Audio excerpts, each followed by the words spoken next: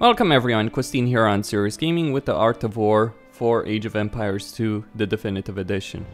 Let's get going. Gonna go for an early economy after playing the initial cinematic. Before you can lead an army into battle, you must first learn the nine principles of the art of war, written by the famous warrior and philosopher Sun Tzu.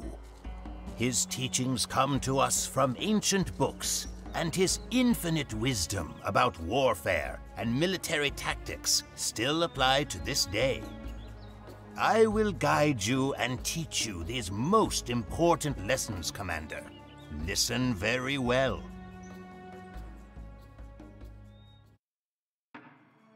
Sun Tzu teaches us not only how to engage our enemies, but also how to manage logistics. An army cannot fight without the proper supplies. Without food, arrows, and arms, an army cannot stand its ground. In the words of Sun Tzu, bring war material with you from home, but forage in enemy territory. Then the army will have enough food to survive. Let us see if you understand this advice. Indeed, we shall. As you're growing your civilization, it's important to start off on the right foot. A thriving early economy will allow you to reach the feudal age in a strong position from which you can continue to grow and ably battle your opponent.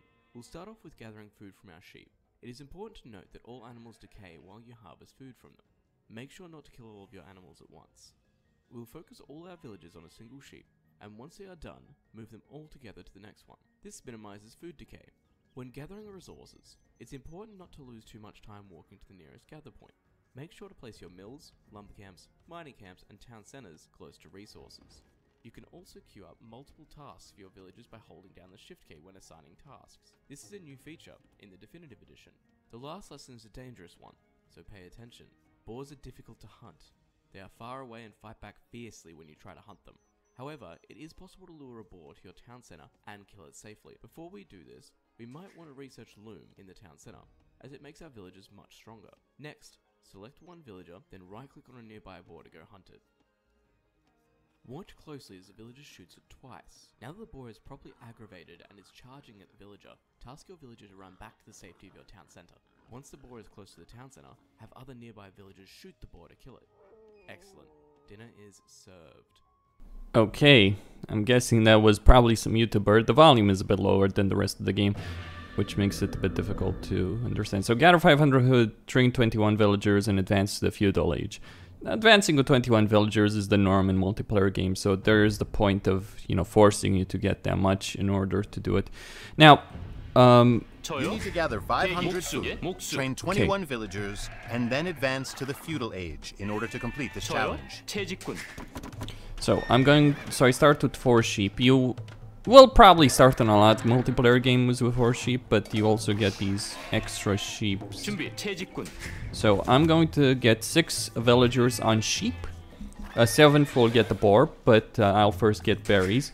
And then I'll worry about lumber. Lumber is not the priority here, though it is worth pointing out that lumber would certainly be a priority for you to get in an actual multiplayer game. So the guide, in order to get gold medal, is not particularly accurate. Let's be let's put it frankly, because you don't care about proper resource management. You more so care about.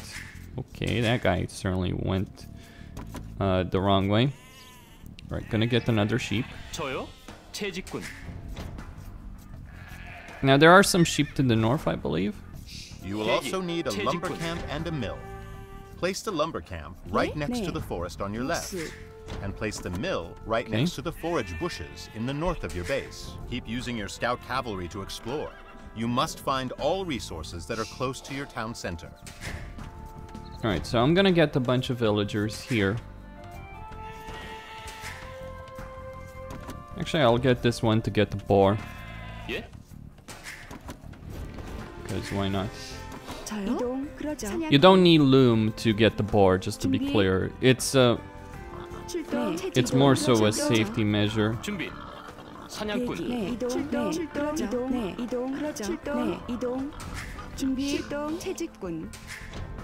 It's more so really a safety measure more so than anything else. Now you need to be careful a bit here with regards to your food because your villagers may will not uh, return to the town center Now quickly. is a good time to start luring a boar, like in the video. It might not work the first time that you try it, 저요? but do not worry. 예? Practice makes perfect. 사냥꾼 Okay. 준비. 사냥꾼. 사냥꾼. Right, I'm I'm sending these guys continuously backwards. I'll I'll need a 예? 채집꾼. okay. Now hopefully they do go back before this guy. 저요? Yeah, she will she will go back. Now I I don't necessarily Hey, want to Chichi- send these guys back uh Right. 대기 그러죠 목수 I'll get one more on wood. Yep. 준비. 목수.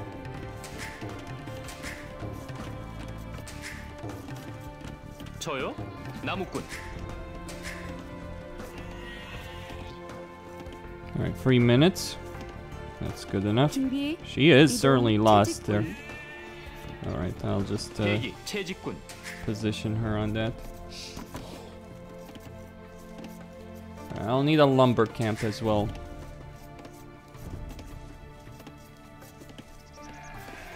저요?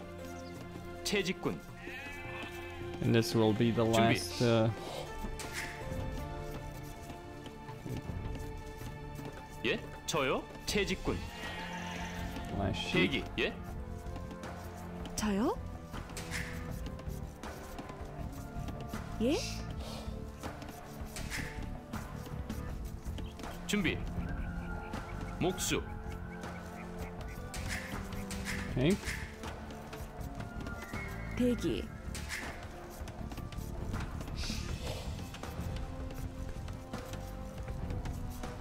준비 예? That's the last 저요? 예. house. 나무꾼.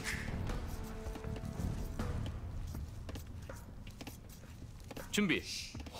You have 이동. gathered 실시. 400 food. 광고. You are so 그러죠. close. 사냥꾼. You do not need to mine stone 예? or gold for this 그러죠. challenge. 목수, Focus on 목수. gathering food and wood instead. 대기. 목수. 저요? 예. 사냥꾼. Okay. 준비. 실시. 이동. 예. 그러죠. 예. I'm gonna fall 이동. back. I got 20 villagers. 대기. 사냥꾼. 예. 실시. 그러죠. 사냥꾼. 예. 그러죠. 사냥꾼. Not the best way, by the way. You've Of gathered 500 food. You There still we need go. 21 villagers. Be There's sure the to keep your feudal age. villagers working at all times. And also assure that your town 준비. center never stops producing villagers. Only then can you hope to earn a medal from this challenge. You manage. Yeah, that was basically it. That was the booming, uh, the early economy challenge. Not uh, really the smartest way to do it uh, to build your early economy. You do need more wood, uh, specifically because you want to transition to farms. That is, and that's the reason behind it. I mean, yes, sheep hunting, all that useful, but uh, you would want to get more villagers on wood. You would want to get villagers on gold. So that's um, uh, that's why it's not necessarily the most useful in the world.